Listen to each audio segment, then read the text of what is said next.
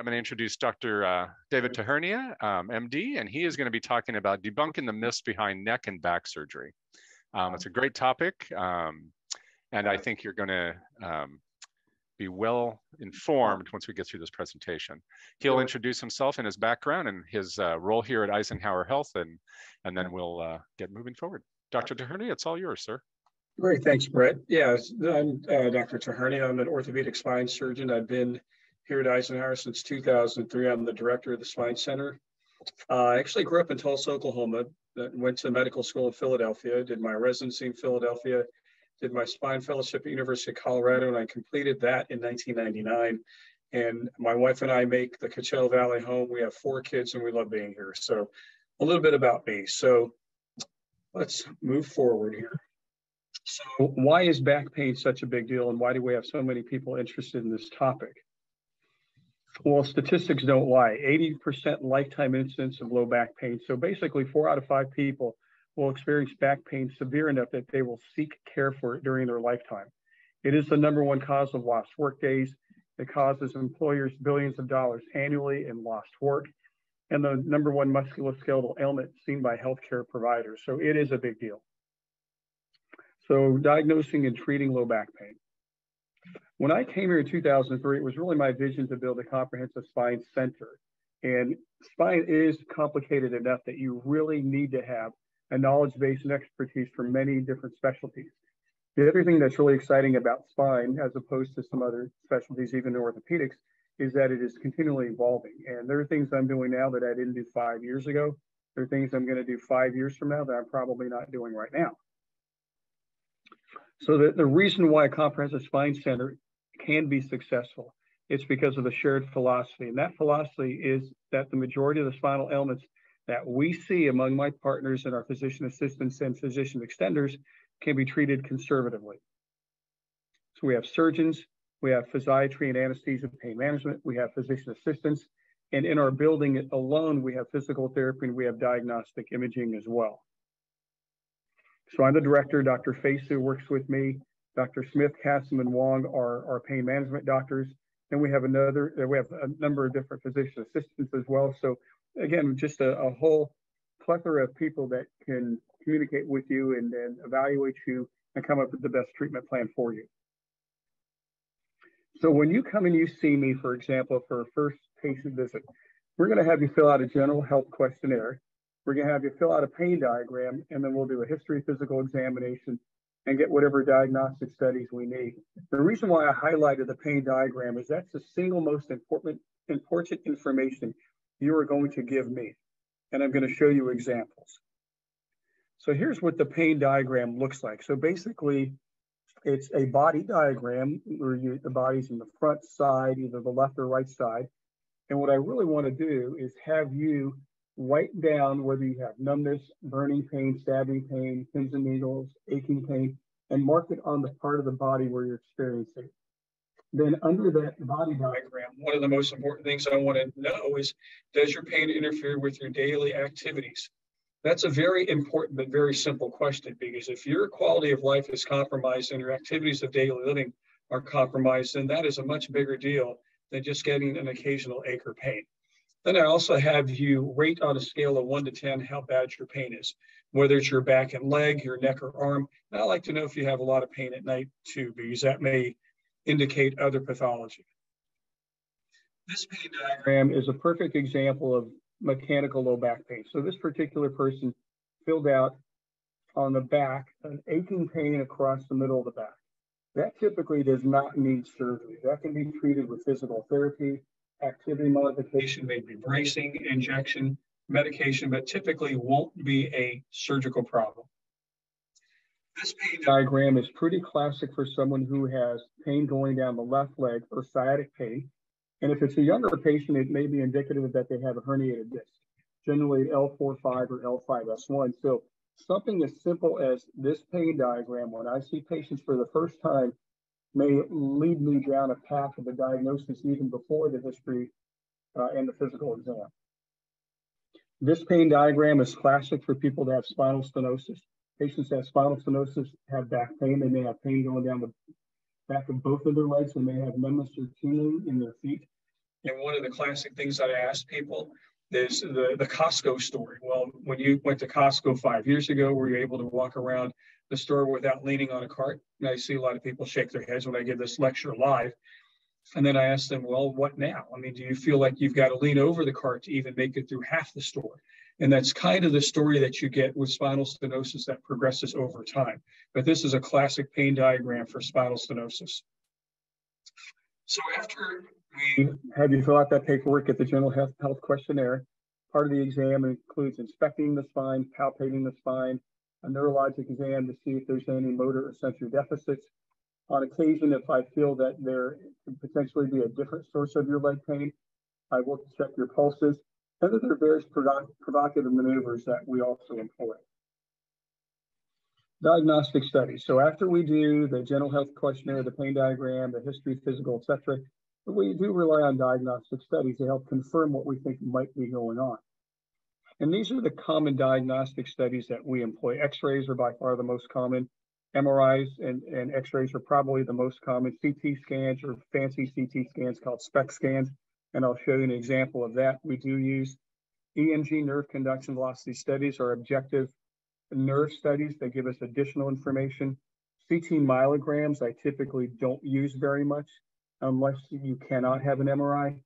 And I left provocative discography up here almost as kind of an anecdote. Uh, we really don't do that anymore. Years ago, we were having diagnosticians inject discs with medication to see if it elicited pain, but we it's really fallen out of favor. So the first five are really what we employ pretty frequently. So let's talk about treatments. There are a lot of different treatments that we utilize. Obviously, medication, anti-inflammatories, muscle relaxant, narcotics for short-term uh, pain, injection therapy. My colleagues, Dr. Caston, Smith, and Wallen, will do various injections to help treat your pain or help diagnose it. Chiropractic treatment, I think, definitely has a role in treating pain, especially acute pain. Sometimes bracing is very effective in patients that may have deformity. Uh, physical therapy, I'm a huge fan of. Anybody who's come and seen me, one of the things I'll ask you the first time I see you, have you had any physical therapy? And if you have not, I will certainly recommend something like that.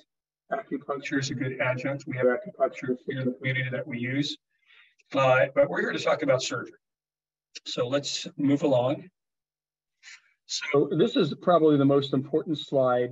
And this is really my mantra that I live by when I decide I want to do surgery with patients. First and foremost, you need a clear diagnosis. If you don't know what the problem is, there's no way surgery is going to make a difference. The second thing you need, you really need a, you need to have a mechanical problem. Like a lumbar strain is not a mechanical problem, but a herniated disc or spinal stenosis or scoliosis, that's a mechanical problem. So when you have the first two, then you have your imaging studies, x-rays, MRI, CT scan, whatever, that corroborates the diagnosis and the mechanical problem. On occasion, I'll do confirmatory injections with my colleagues, or I'll get an EMG or a nerve conduction velocity study if the diagnosis is still a little bit questionable. And then once you have that together, and I decide that surgery is the option for you, then the surgery has to be properly executed. That's kind of a no brainer, right? And then eventually, once all that's done, if we have the appropriate post op rehabilitation, surgical results are quite predictable. And I actually put this slide on twice. So that's how important this is. And that's that is my thinking, my algorithmic thinking when I see patients and I decide if I want to do surgery. So let's talk about some of the myths with surgery. So the first myth is, well, God, I don't want to go see the surgeon because all he wants to do is operate. And that's not true. Dr. Facew and I are very conservative in our approach. That's why we built the Comprehensive Spine Center. That's why we have our pain team with us. We've got those various treatments available that will solve your problem, physical therapy, injections, etc. So we look for ways to not operate, but certainly there are going to be some times where we see a patient with a severe problem that we know is such a mechanical problem that if we wait that we risk potential permanent nerve damage and we will go ahead and recommend surgery the first time we see you. But that's definitely the exception and not the rule. So myth number two, surgery is dangerous and we don't know if it will really work. Well, that's wrong too. I think maybe 30 or 40 years ago that may have been the case, but we're pretty good at diagnosing patients' problems now. And we've got a myriad of treatment options available. And again, if we go back to those five bullet points that I talked about. If you stick to those five bullet points as a surgeon, the results are quite predictable. So you need the right indication, you need a well-executed procedure, you need a proper post-operative plan. And honestly, you know, there may be surgeons out there that may do a little bit of spine, maybe foot and ankle, maybe knee replacement or hip replacement. But that's why our organization, DOC, has such subspecialists because you really want to go to someone who does that all the time. And spine, more than anything, you really want to go to a surgeon that has pretty much exclusively their practice as being spine surgery. So, myth number three if you have hardware in your neck or back, you can't have an MRI. That's not true. In fact, we've got a lot of sequences that allow you to get really good MRIs and not have the metal distort the picture. Screws, plates, rods, and cages that are used routinely in spinal surgery do not migrate in an MRI. The MRI machines are now much more sophisticated and they actually provide what's called a MARS sequence, which is a metal artifact reduction sequence that allows you to see things better. There are exceptions if you have aneurysm clips maybe some pacemakers, shrapnel, maybe cochlear implants I heard may not be MRI compatible. There are exceptions, but for the most part, just because you have metal in your body, even a hip or knee replacement, doesn't mean that you can't have an MRI. Myth number four, you can't play tennis. Mr. Golf after back or neck surgery, especially if you have screws or a fusion. I think probably everybody on this Zoom call has heard of Tiger Woods, right? Tiger Woods had three low back surgeries and then finally had an L5S1 anterior lumbar fusion.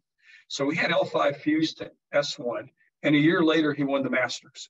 So absolutely, you can have you can play tennis or golf after back or neck surgery as long as everything is healed appropriately. You go through the proper rehab, and your surgeon clears you to do so. Myth number five, surgery requires several days in the hospital and a long recovery.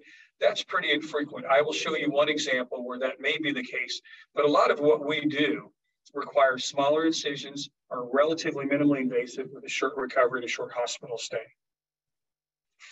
So again, many of our surgeries are minimally invasive, but ultimately you can't do a small surgery if you need a big surgery.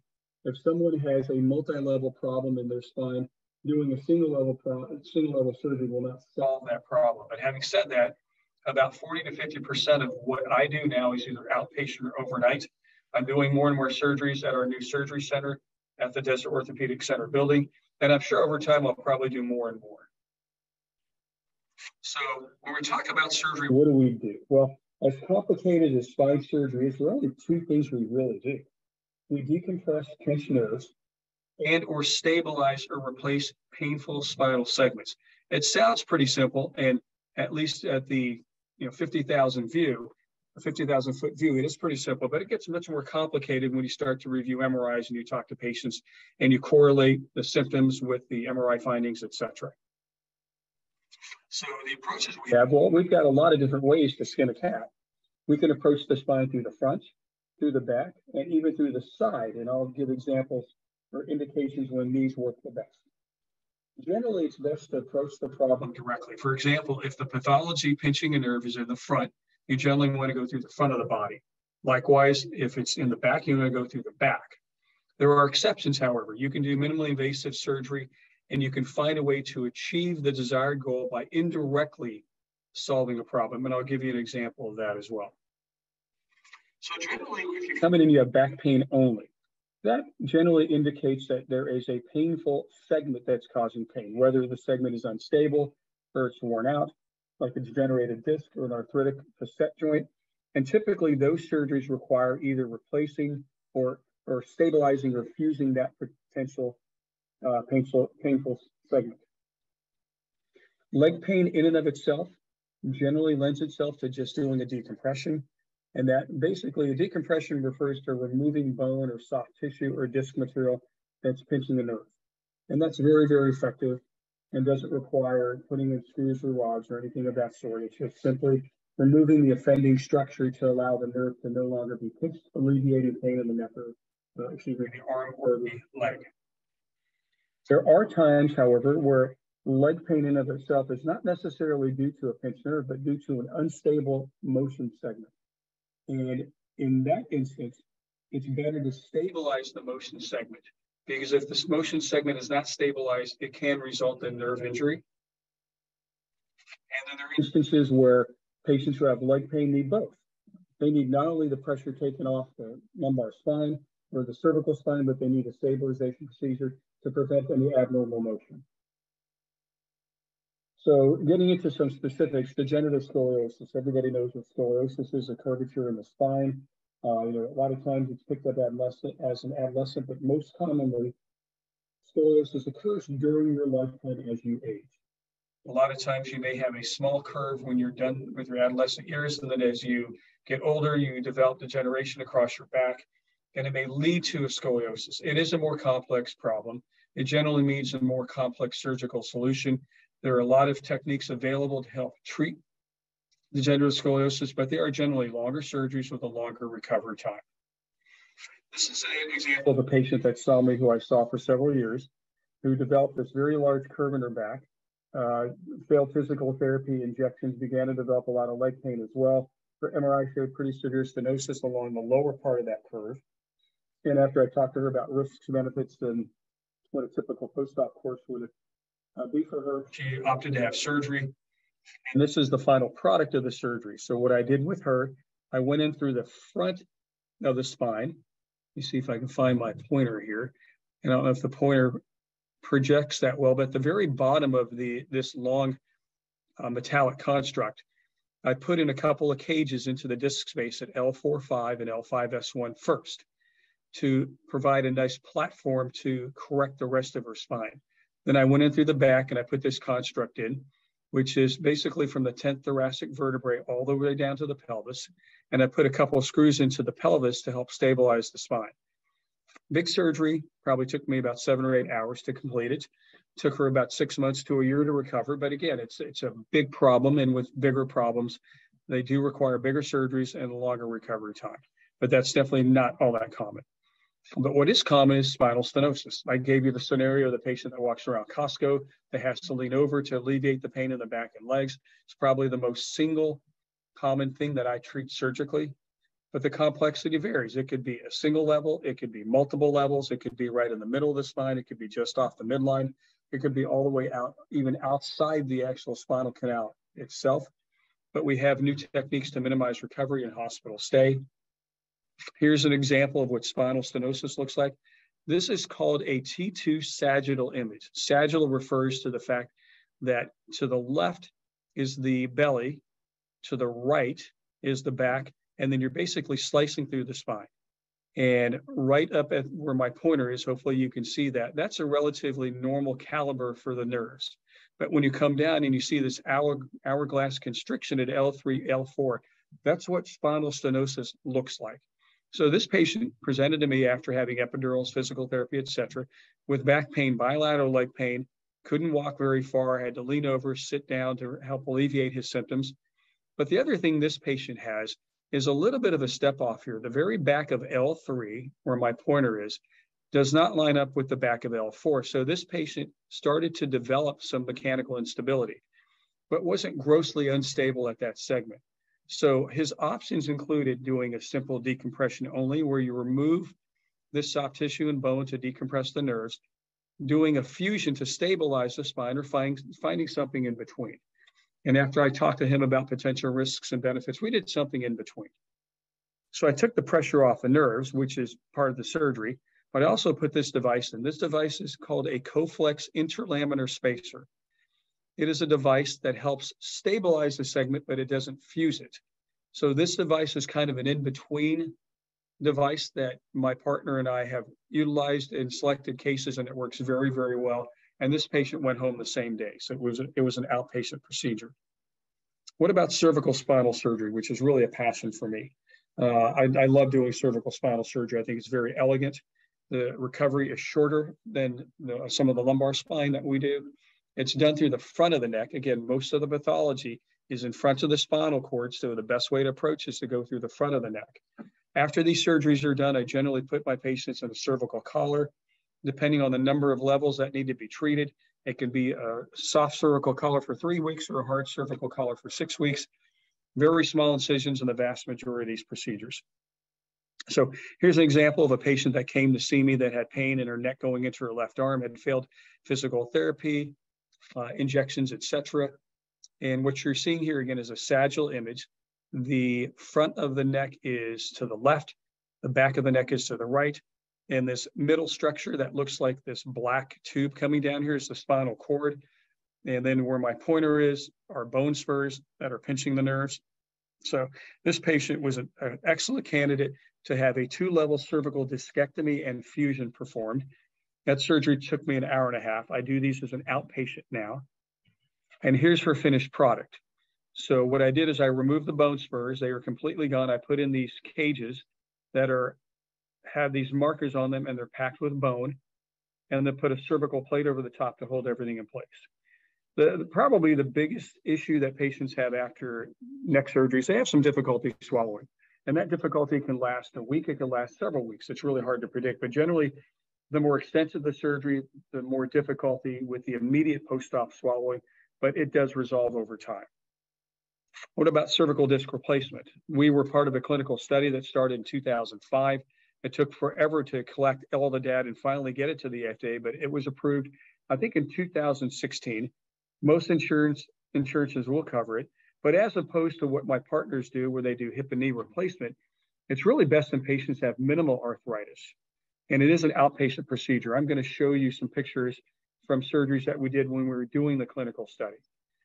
So you can actually look down at the very bottom of this X-ray image here, and you can see this is back in December 2007. So that's how long ago it was when we were doing the research project.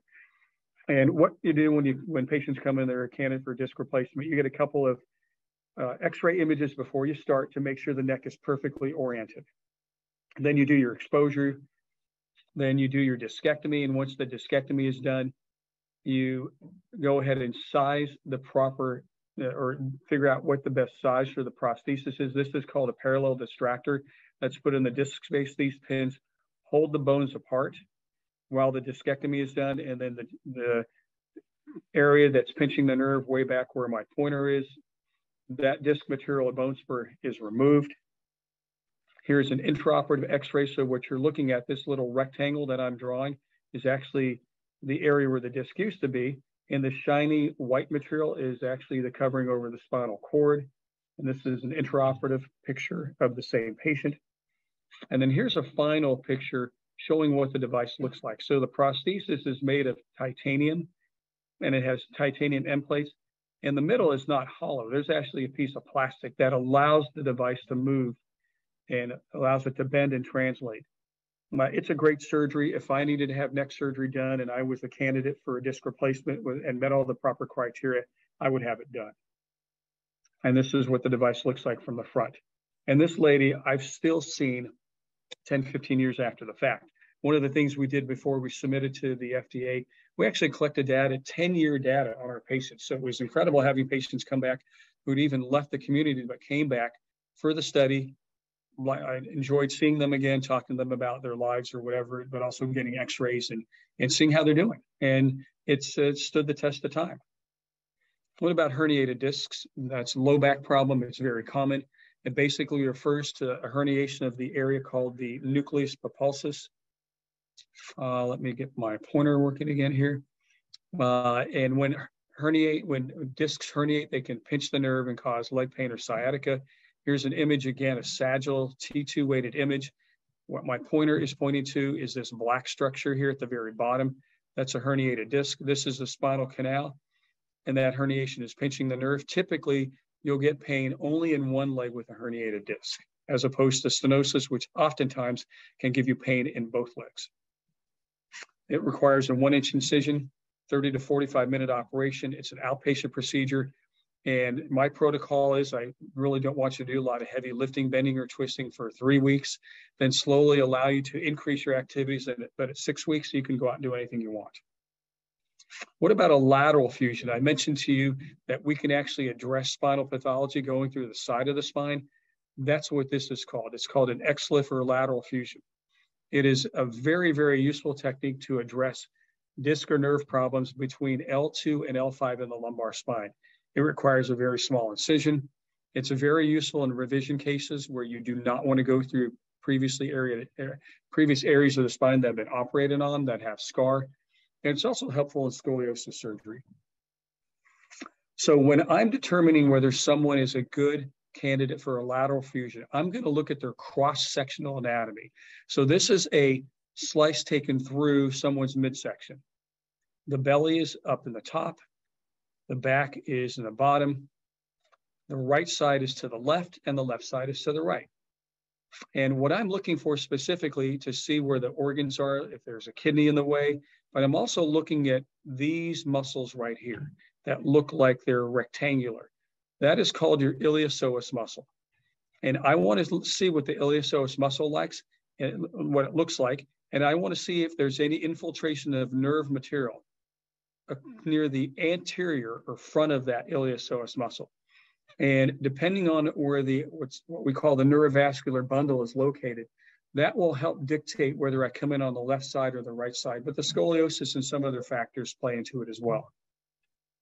So here's an example of a patient who came to me, has a lot of arthritis in his back, but I had no idea where his back pain was coming from. It's almost a crapshoot. You can throw a dartboard on his back because he had arthritis all the way up and down his back. But what I did do is I ordered that SPECT scan. A SPECT scan is a combination CT scan bone scan, and it's revolutionized our ability to determine where a patient's back pain is coming from.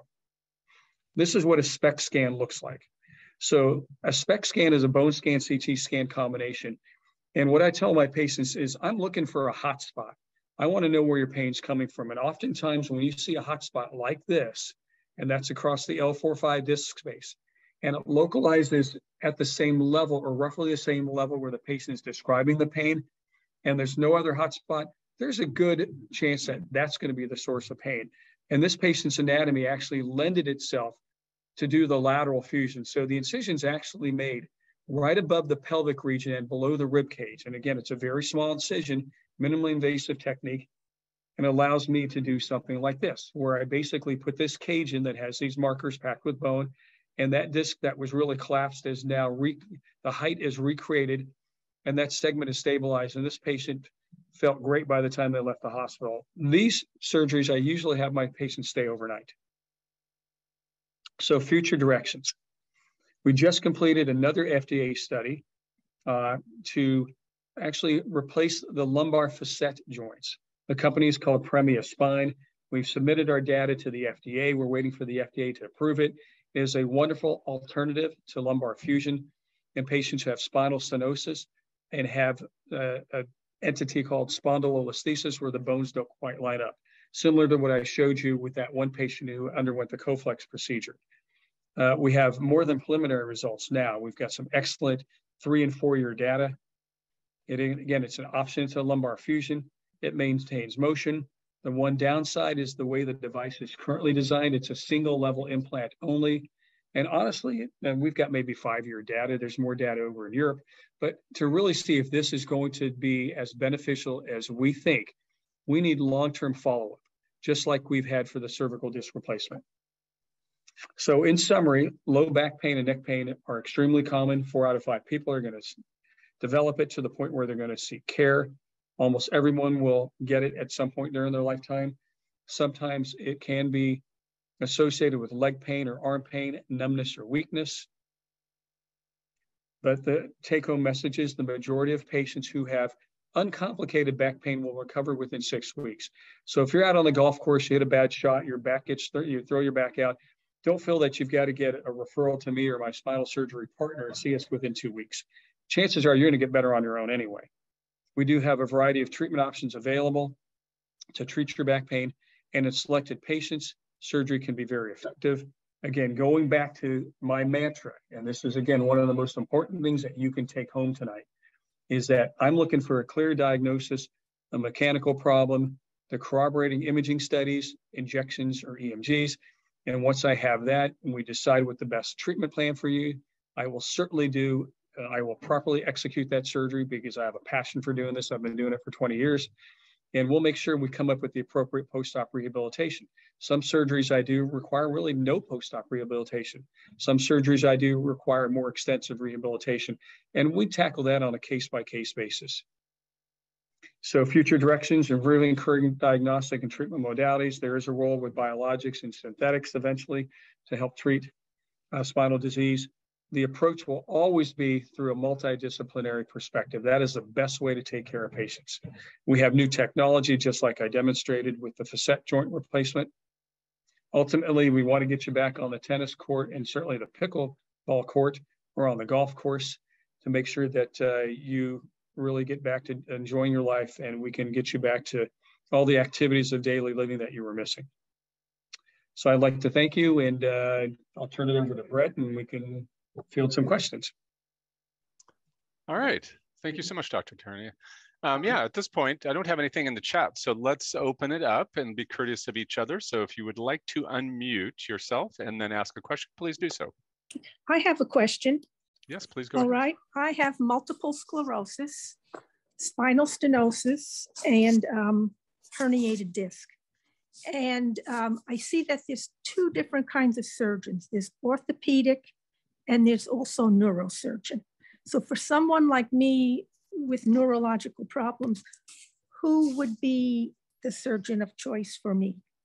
Well, uh, good question. Uh, it really, what, what you, going back to what I mentioned about surgery, you really want to go to someone who does spinal surgery as their career.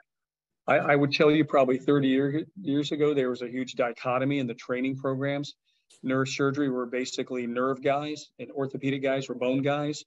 But now with the orthopedic and neurosurgical training programs, there's really tremendous crossover.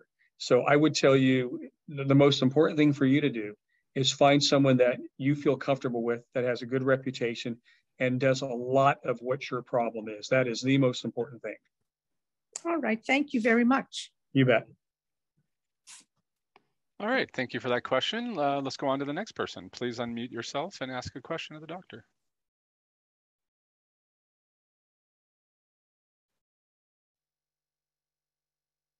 Uh, Dr. Tahernia, I have spinal spinalolisthesis and I've had lots of treatment. In fact, um, just today, Dr. Wong gave me an epidural uh, of a steroid, and I'm have no idea how it's working, but I have always been really fit. But when I turned 70, it was like kaboom, all of a sudden, my bad back got severely worse. So, um, about how long uh, after I have this epidural before I come and see you? Because this has been going on now for about uh, a year for me, and I've done um, oh months and months of PT uh, lots and lots, and I've been I've been an exerciser and I've done stretching my entire life, yoga.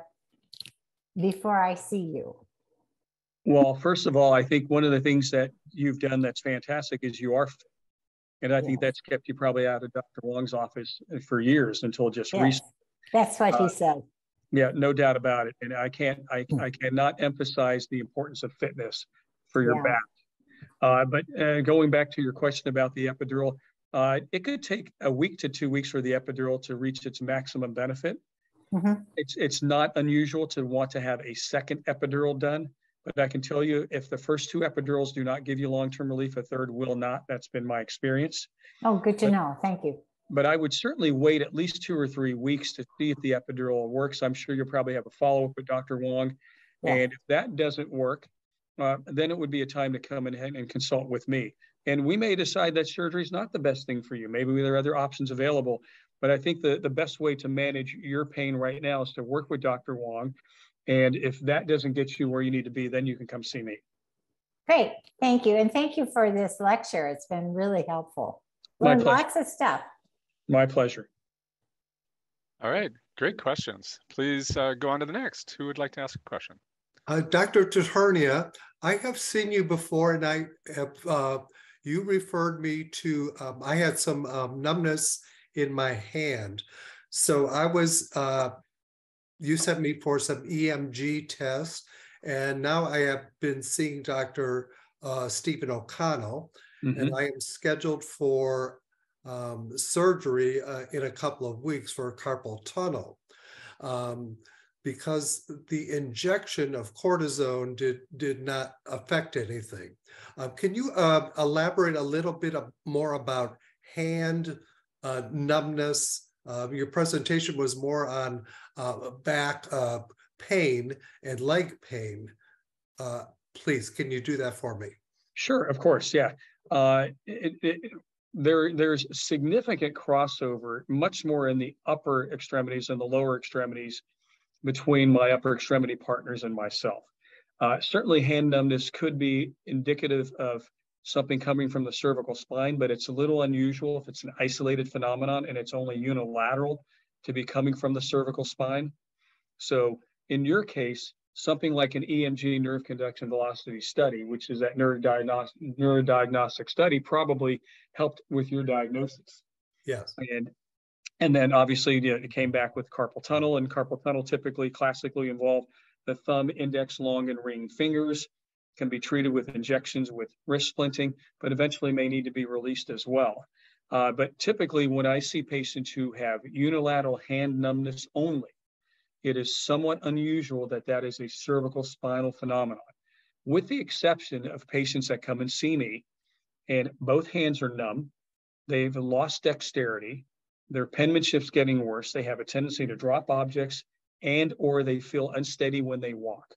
If that constellation is presented to me, the first thing I'm thinking about is pressure on your cervical spinal cord because cervical spinal cord compression doesn't cause pain, it's a functional problem. And I can't tell you how many times patients have come and seen me and I've diagnosed it. And they've been told by maybe their spouse or maybe their primary care physician, oh, you're just getting older. You know, you're going to lose dexterity as you get older. And, you know, that's probably true in the vast majority of cases, but there are certainly a lot of cases that I see where that's not the case. And if I ask you those five questions and you're five for five on the yes meter for me, then I'm thinking cervical spinal cord compression and I'm going to get an MRI to rule that out. All right, great question. We had another person unmuted. Feel free to ask the question of the doctor. My question is, um, I have spinal stenosis, and I'm wondering how you get in the queue to get through all these tests, et cetera, that you've been talking about. Uh, question for you, uh, how do you know you have spinal stenosis? Have you had an MRI or, or any imaging study? Yes, I have an MRI. Uh, one of the problems, I'm a Canadian, and Okay. uh, I don't have a doctor down here for referrals. And you would want to come see me to evaluate you, is that correct? Yes, that's correct. Yeah, just call, call the office, let them know that you attended the lecture and we'll work, we'll, we will work magic to get you in. How's that? Okay, thank you very much. You got it. And on that, uh, we will have a couple more questions in a second, but on that question that just came up, um, when I send the recording out to everybody within the week, I will also um, send the contact information for the doctor's office so that you can, you know, access that. Thank Right. you. You bet. Um, we do have a question in the chat. It says, could you explain the difference between an epidural via fluoroscopy and CT guided nerve root block? Well, I'm not too familiar with the CT guided ner- nerve block, but I can tell you in terms of epidurals, there are different epidurals that can be done. And my partners use fluoroscopy. That's really the standard of care. And the, the two different kinds of epidurals, one is called interlaminar, which is done from the back, but it's not directly in the midline, it's just off the midline. And then there are transforaminal epidurals that are done at a much steeper angle from the side, targeting one particular nerve root. My preference and what I think is most effective are the transforaminal epidurals because they target one particular nerve root. And even as important for me, as I mentioned to you that I use confirmatory injections with my diagnoses, if my pain colleagues target one nerve and they inject that nerve, and sometimes it may recreate your pain, I'd want to know that. For the first six to eight hours after the injection, if that nerve is causing your pain, you should feel pretty good because it's almost like numbing up a bad tooth because there's anesthetic with the steroid. And then the steroid itself will hopefully give you long term relief. So, those are the two different kinds of epidurals. My colleagues do not use CT guidance. They don't need to. They're, they're incredibly talented at what they do with fluoroscopy. And those are the two general types of epidurals that they do. Hopefully that answers your question.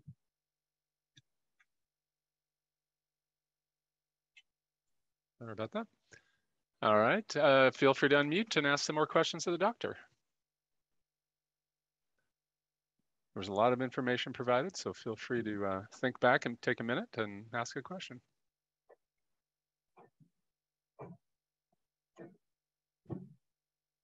Okay, another question. So today when I had my epidural from Dr. Wong, it sounds like I had a transforaminal one. Mhm. That's probably right. Yeah, because it really, when he hit that nerve, it was like, he said it was, it feel like a bee sting. And I said, well, that bee has big teeth because it really, it got it. Yeah. So did, did it recreate your leg pain? Yes, but Yeah, only, but only for, for maybe 30 seconds at the most. Well, that's perfect because he, he clearly hit the, what we say, the right spot. Yeah. And then Yeah, for the first six to eight hours after the injection, how did your leg feel? I, uh, let's see, well, I took a nap when I got home. Fair, fair Um, enough. and so I got up in time for your lecture. But um, right now, it feels pretty good actually. And I don't Yep. know if it's because of that or if it's because maybe um, the painkiller has not worn off. Yeah, it's, it's probably the anesthetic that's giving you that immediate relief in, in the first day of relief. And then Mhm. we'll just have to see if the steroid kicks in and gives you long-term relief. Well, that's good to know. Okay, thank you again. My pleasure. I have another question, if that's okay. Please. I just want to get this straight that I've had one epidural and it worked for about two and a half weeks. Okay. And then I just had another one and I was expecting I would feel better two days after, but now today you were saying you need to wait one or two weeks. Yeah, I would tell you probably one to two weeks to see the full effect of the epidural. Okay, Uh, And, and I would also say, like I mentioned previously, typically if you have two epidurals that don't give you long-term relief, it is, I wouldn't say impossible, but it's pretty unlikely that a third is going to magically knock out that pain. okay, that was part of my question too. I've got people, friends, family members as well, who go and get epidurals maybe every three months, every six months. You know, and they've been doing this for a long time. Sure. So what, what do you, what's to say about that? Well, it, it really an depends. opinion? Well, it, uh, it it depends on what kind of epidural. Maybe it's in a different location in the spine. Maybe one is done at L4-5, another one's done at L5S1. Maybe they're different injections and maybe they're, they're trigger point injections. So I think sometimes there may be a little bit of loss to translation, lost in translation exactly what kind of injection your family members had. Because Ah. not, not every injection is the same. I can tell you that for sure. You know, an interlaminar epidural is different than a transforaminal epidural, which is different than a trigger point injection, which Oh. is different than a facet joint injection. So they may be having injections done, but different structures may be injected at different times. Okay, all right then. Makes more sense to me then. Thank you. You bet. Great questions. Uh, next, anyone else with a question? Please unmute.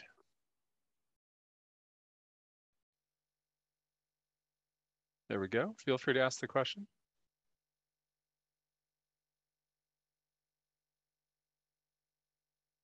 I saw someone unmute.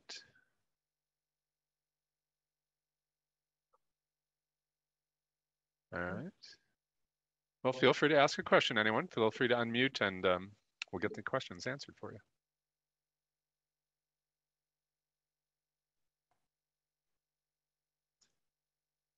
There we go. Um, I'm back again, the Canadian. Um, it seems to me it's a progression of physical therapy, maybe um, epidural, m- maybe a minor operation, and then the, the um, major operation. Is that correct? Well, it, it, it's uh, hard, hard to give you that answer without knowing exactly what your problem is. I mean, there, there are some surgeries that I do that are very simple that take 30 to 45 minutes, and then uh, I send my patients on their merry way. I don't see them again. Uh, there are some instances where I do a surgery, and that surgery doesn't necessarily permanently fix that particular segment. For example, if I do a decompression, but I don't fuse a segment, and that segment over your lifetime could become unstable and may need a second procedure. I guess that's what you're referring to. Uh, and and it's an art. I mean, having been in practice for 20 years, I mean, every patient is a little different. And I look at my MRI, I look at my X-rays, I look at all my imaging studies. We talk about what we're trying to accomplish, talk about whether we want to do something that's more aggressive or less aggressive. Um, uh, so it's it's it's an art, and uh, you know, over 20 years, you know, I've I've done as good as I can to provide the best kind of surgery for each patient. And boy, I'll tell you, you know, no, no one's perfect. You know, when you've been uh, doing this for 20 years, you have a lot of successes. You have a couple of cases, especially early on in your career, where you think back and you say, hmm, maybe I should have done something different because that patient didn't get the ultimate result they wanted or needed a second surgery or whatever. Uh, but uh, you know, over 20 years, uh, it's a lot of experience that I draw back on. Thank you. You bet. All right. Next question, please. Hello. Yes, go ahead. Oh, okay, good. Uh, I've uh, had the the uh, pleasure of visiting with uh, Kurt Edley at the end of December, and uh, and I have a, a an appointment uh, with Dr. Tahernia on Wednesday morning, and it is regarding my spinal stenosis. they've sent me for X-rays, which they did for us, and also they uh, sent me for uh, an MRI, and I have that as well. But my my question is, uh, I had several questions, and some of them you've already uh, uh, answered. But one thing that uh, Kurt mentioned was injections versus surgery, and this is something that your your examination of my MRI will probably tell us. Uh, but uh, is it is an injection uh, or is it uh, quite often uh, sufficient or several injection, injections? Yeah, I mean, it, it, it, really depends on what your MRI shows me. I mean, again, I've got to look at your pain diagram, examine you, look at the MRI, see how long you've had your symptoms. I can tell you if, if someone comes into me and they've had symptoms that have been present for three years and they've been through physical therapy. They've done a lot of conservative treatment short of an injection, and their MRI shows absolutely severe stenosis.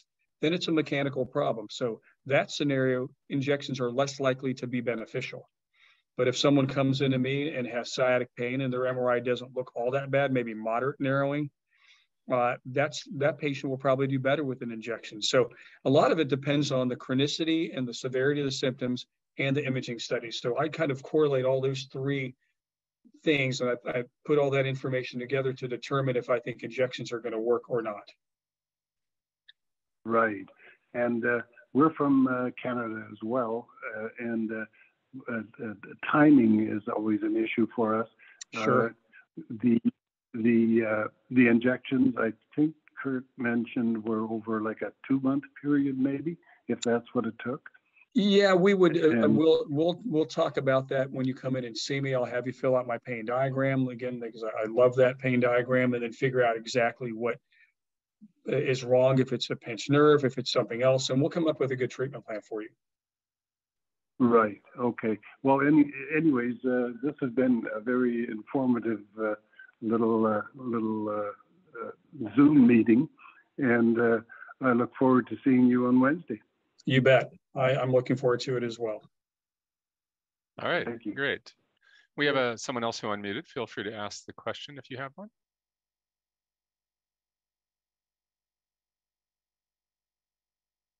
No.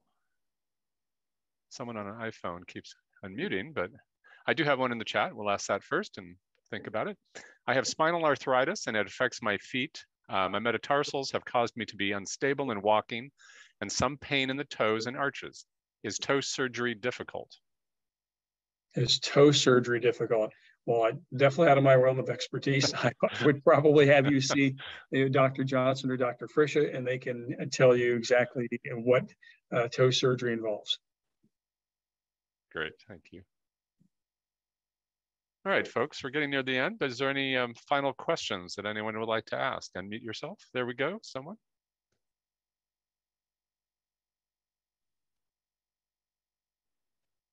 You are unmuting, but we're not hearing you if you are speaking, just as a reference. And we do have another question. A friend mentioned a procedure called Lin-Q. Do you know what that is and can you explain it? Uh, no, I'm not familiar with it. Certainly, if it was something that was in my world of spine surgery, I would know about it. Maybe it's some minimally invasive pain management procedure, but I'm not familiar with it. Great, thank you. All right. Any last question for the doctor? Hi, hi there. Can you hear me? Yes, we can. Go ahead. Uh, hi there. Uh, I I have lower back difficulties. Uh, I've had an MRI done, and they found that on my right side and lower back, there's it's there's some calcification happening, and it, they speak of a burn of a of a spur that it that at times impinges on on the nerve. Uh, I do physiotherapy. I went to the phys- uh, and I do a lot of exercise. exercises to try to keep that at bay. Um, is there is there a relatively simple procedure to correct some of this to uh, take that pressure that bone spur away so that it's not impinging on the nerve? Well, it really depends on whether you're getting any leg pain with that pinched nerve. If you're not getting any leg pain, and it's only back pain, then we don't know yet if that pinch, if that bone spur is causing your pain. So we would probably need some more diagnostics to determine that. But if you had a bone spur that was pinching a nerve and you had classic nerve pain in that particular distribution of that nerve, and epidurals didn't work, and there was not a mechanical, insta- a mechanically unstable segment, then a simple procedure may very well work for you. Okay, well, okay, thank you. I don't have the uh, I don't have the pain running down my leg. Uh, it just it runs around the around in the in the hip in the hip joint mostly, and it interferes with um, if I want to do some things like golfing, it does or twisting motion, and the exercise seem to keep that at bay to some extent. Perfect. I would keep on exercising. That's crucially important. Combination of some aerobic conditioning and core strengthening. Okay, thank you. You bet. Good. Another question. When doing spinal surgery, how much of a factor is osteoporosis? Uh, it really depends on what you're doing. Uh, if you're doing a simple decompression where you are removing bone or soft tissue to unpinch a nerve, osteoporosis is not that big a deal. But if you need to put in hardware to stabilize the spine, it can be a big deal, uh, especially if you're severely osteoporotic. Uh, there are DEXA scans that we can obtain to determine how bad your bone quality is. We actually have software built into the Eisenhower CT scanners that can give us uh, a sense of how bad your osteoporosis is. But we also have techniques to help deal with osteoporotic bone. Some of the hardware I use is coated with hydroxyapatite and have fenestrations to help actually with the purchase in bone that is osteopenic or osteoporotic. So there, there's new technology to help deal with that. And there's also uh, the different medications you can take to deal with osteoporosis too. Uh, the one that actually builds bone is called teriparatide or Forteo. A lot of the other medications help decrease the, the, the severity of bone loss, but Forteo has been proven to actually build bone quality. Uh, and I, there are a couple instances where I've had patients that have seen me, had poor bone quality, didn't have to have anything done emergently. And I have the primary care physician put them on Forteo to increase their bone quality before we did surgery, just to decrease the likelihood of having any type of hardware complications.